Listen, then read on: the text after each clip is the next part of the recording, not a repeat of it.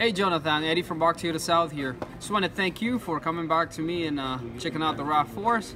I understand you're coming back Saturday. If there is any questions before that, please give me a call back. 508-342-3722. Thank you.